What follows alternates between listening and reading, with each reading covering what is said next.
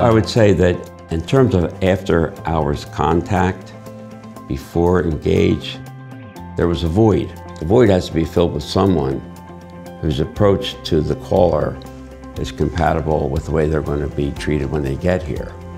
I'm happy to say that the program has worked so well, mainly due to the fact that the operators who are taking these inquiries in over the internet have been so responsive, so professional, that almost invariably when we call to follow up after their conversation with the would-be client, we lock them in. That's how impressed they are.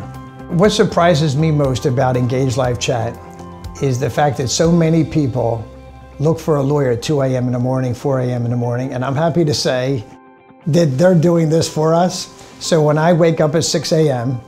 and I see four or five engaged inquiries, it just cracks me up because I can sleep all night and I'm happy about that. The success rate for Ngage Live Chat is so impressive that Ken and I often kind of, uh, we shake our head in disbelief because most things in life are perhaps overly hyped. And in this case, if anything, Martindale and Hubbell Ngage Live Chat probably undersold themselves. It exceeds our expectations beyond belief.